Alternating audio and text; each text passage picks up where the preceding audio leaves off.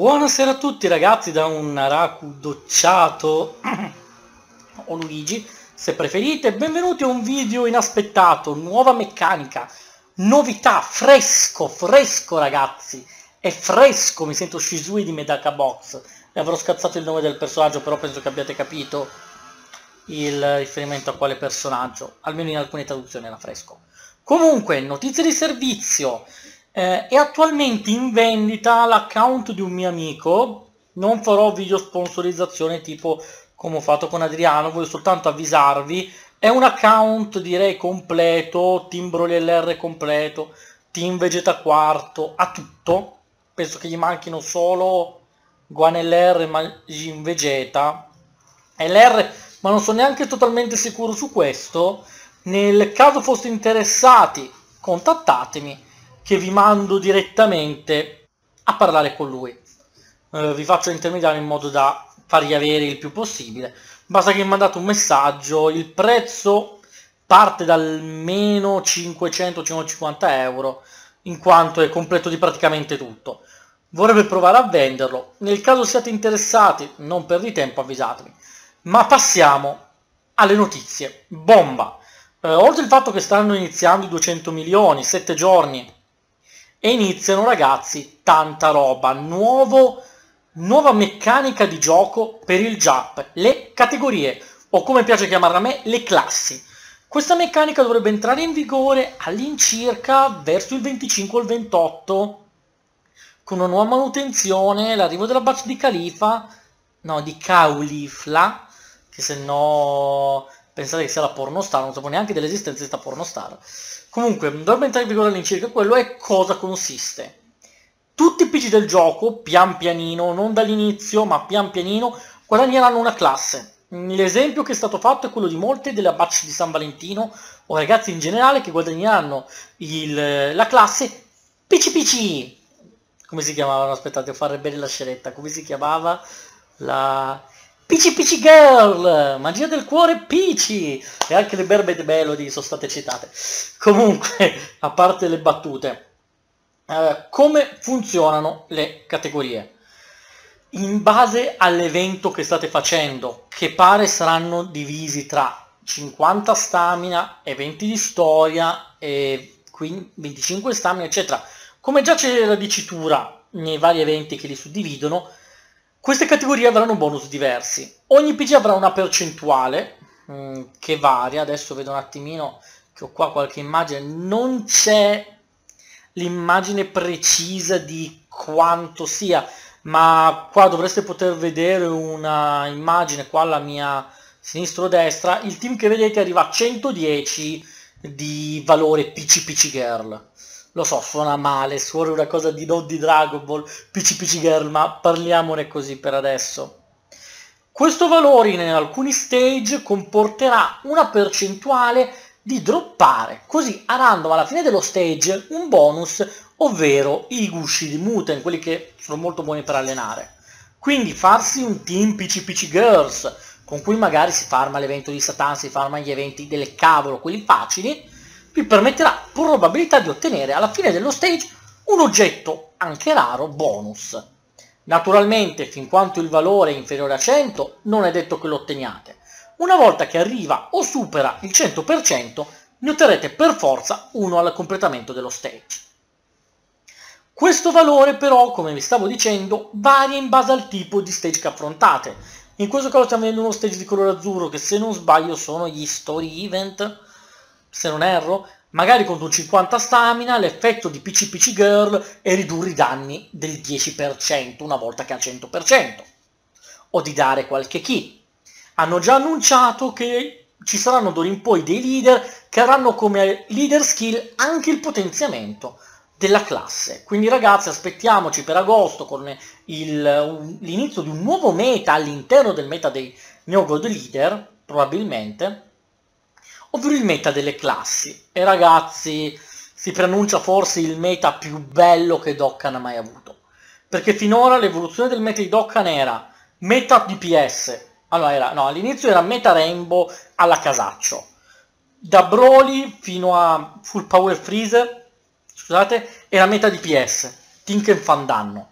poi c'è stato il meta Gogeta, poi c'è stato il meta counter o comunque il meta god leader in cui si andava con team di un determinato colore, poi c'è stato il meta allineamento, ovvero rosé e Veget Blue, e poi il, re, il meta colore allineamento, in cui tutti i team utilizzati, salvo chi voleva giocare Rainbow, Super o Extreme, giocavano un team di un determinato colore allineamento. Un meta delle classi, ragazzi, è la cosa migliore che poteva accadere. Vi faccio un esempio, un team che tutti vorrebbero giocare quasi, ma che non ha senso essere giocato, un team grandi scimmie. Benché Tarles AGL leader sia grosso, è un team che manca di sostanza. E che succede se il Link, se la classe Grandi Scimmie regalasse al PG, che ne so, al 100% un bonus di Kyo di attacco? Magari l'uscita di un Baby Grande Scimmia che ha come leader skill la rischio normale e poi la classe Grandi Scimmie si becca più 2 Ki. E poi Link Grande Scimmia è più 30% d'attacco attacco. E intanto ha comunque una sua leader skill questo baby grande scimmia. Questa è un'idea che secondo me, se fatta bene, perché comunque anche l'ability chart era un'idea che sulla carta era bella e ha finito per distruggere quasi il gioco, rendendo PG con ability praticamente delle cose che giocano da solo che non hanno il minimo senso logico di esistere. Basti pensare al team Super STR con ability, addirittura il team Super Tech ability completa, super fisico, extreme tech, che è roba che shotta qualsiasi cosa così, tac morto, tac morto, tac morto. Poi alcuni di questi rischiano anche di fare tac, non mi hai ucciso, ti ammazzo io. Ma in soldoni. È così. E quindi potrebbero rovinarlo. Ma non è detto. Dobbiamo dargli fiducia, secondo me. Dobbiamo dargli fiducia. Come vi dicevo, come vi dicevo, eh, ci sarà un modo per... ci saranno man mano aggiunte varie categorie. Non si sa con che cadenza, non si sa quali categorie usciranno, di sicuro aspettatevi. Forse non il 25 perché comunque lavoro, adesso un lavoro um, giornaliero e pare mi abbiano preso, quindi i video io d'ora in poi li sto facendo la sera prima e li carico quando sono in pausa pranzo da mio padre. Quindi mi svolgo così, la giornata. Infatti sapete che rispondo molto meno su Facebook e altro perché ho poco tempo ragazzi. Tolto il sabato e la domenica non ho davvero quasi tempo di rispondere a nessuno. Salvo un giro veloce su YouTube e ogni tanto nei messaggi di Facebook. Ho 101 notifiche su Facebook chissà quanto rimarranno prima che abbia il tempo di toccarle. Quindi, quindi più probabile fine settimana prossimo che faccio un bel video di Dokkan School sulle categorie e ci saranno video analisi sulle categorie in cui proveremo anche a vedere i team come girano, sta per nascere un Dokkan bello. Poi magari ragazzi, magari non cambierà un cavolo, si va con i soliti team, i soliti team ammazzano tutto, solita storia. Ma la cosa bella è poter variare. Eh, una cosa che molti non capiscono è che non esiste solo il team che ti fa l'evento in due secondi perché boom, shot, boom, shot, boom, shot. Ne esiste solo il team che te lo fa magari in 10 minuti con non ricevo danno, ti attacco, tu non ricevo danno, counter, ti ammazzo. Esiste anche il volersi divertire a giocare. Esiste anche il voler divertirsi con altri team, vedere come fare alcune battaglie con altri team, il gusto dello sperimentare il gusto di pullare un PG che fa schifo, magari, ma sapere che c'è un modo di usarlo. Docker in questo momento non ha queste cose. Guarda, riguardate l'immagine, mm, se voi pullate C18, San Valentino, è un PG buttato. Ormai eh, Pande, eh, Pande, no, Brapan è buttata, quella Bulma è buttata. Magari invece questo team qua diventa divertente usare per degli eventi più facili perché droppi di più Capite quindi? È un'idea ottima, sono felice, avrei preferito le info sulle passive modificabili in quanto è una cosa che io spero copino da Final Fantasy Breve Exvius, anche se anche quello rischia di distruggere completamente il gioco se lo fanno male, ma la speranza è l'ultima a morire.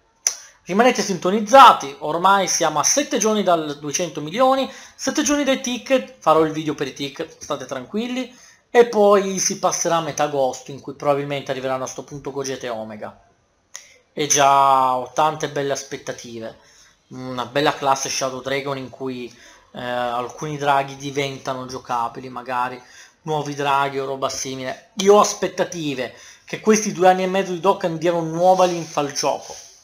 Quindi ragazzi, noi ci vediamo domani con un nuovo video che non ho idea di quale sia dato che li preparo ogni 24 ore. Un saluto da me e dal sommo profeta che questo però non l'aveva predetto. Una buona serata e alla prossima. E sì, d'estate i capelli non me li asciugo. Si sta più freschi.